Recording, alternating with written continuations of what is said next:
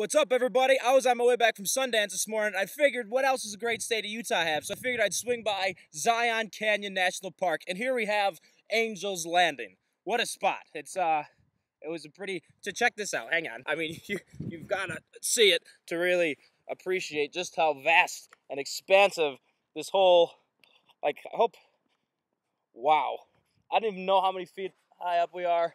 Doesn't matter take my time coming back down, that's for sure. Um, yeah, it's pretty. Um, I was kind of bummed when I first got out here because it was all overcast. It got rained on a little bit coming up, but uh, it's nice because then the image isn't overexposed, and you'll hopefully be able to see me for whatever I have to say. Sundance was a pretty good time. I got my, I, I went up there to bring the essentials to give it to uh, someone I, I knew from Netflix, and he was I met him literally within three minutes of getting there, so like I could have just totally just turned around and drove back home. I didn't though, stuck around, watched a couple movies. Um, the first thing I managed to get into was called Strangerland.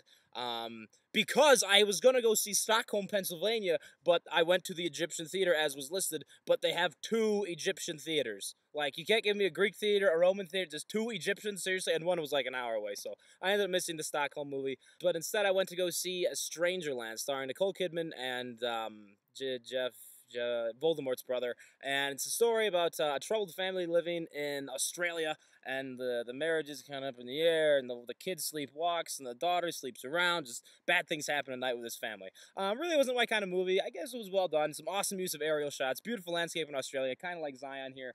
Um, and it's uh, it'll probably get released. Nicole Kidman's in it, so if you like the character-driven, simple family dramas, it's probably for you. After that, oh, is it raining? Oh no! Ah! Ah! Ah! It's totally raining. Oh, sh. After that was a lovely little film from Ireland about a wench who just couldn't keep her lips off the bottle and the son who drove a cab to do anything to see get back on the wagon. It was a good movie, Glassland, really well done. Simple. This was, uh, I don't know, it, it wasn't like um, the the Beast of the Southern Wild kind of small. But this was probably from what I saw the little indie that could at the festival. I liked it. It was about alcoholism. You can't really fluff that up.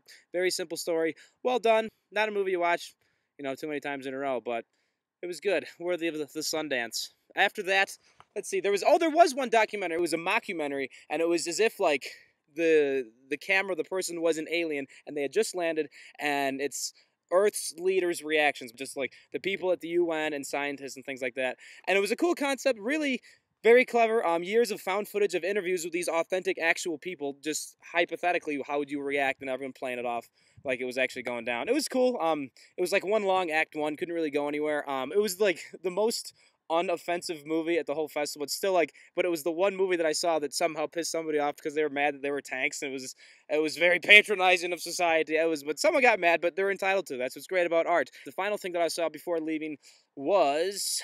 I missed a bunch of movies actually. It was too bad to like because there's some there's like an app to get in line to get tickets for these movies, and if you if you blink like when they go up, then it's it's done. You just need to be there. It's like eBay, but instant. To everyone's on there just waiting, and then they click it, and just total luck of the draw. And if you do blink on the luck of the draw, you're done.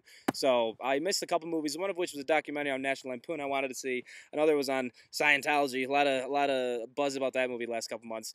Kind of a bummer. Uh, I missed that one. Um, but it was good. And then the last thing I did see was called Aloft, and it was Jennifer Connelly, and I forget the other guy's name, but it was uh, past and present story. The story of a mother and her son when he's a kid, and then when the kid's grown up, looking for the mother again. They've parted ways and they're reuniting, and it was good. It was a French UK film uh, by a Spanish director who missed her own Q and A after. It was the U.S. premiere of the film, and she missed.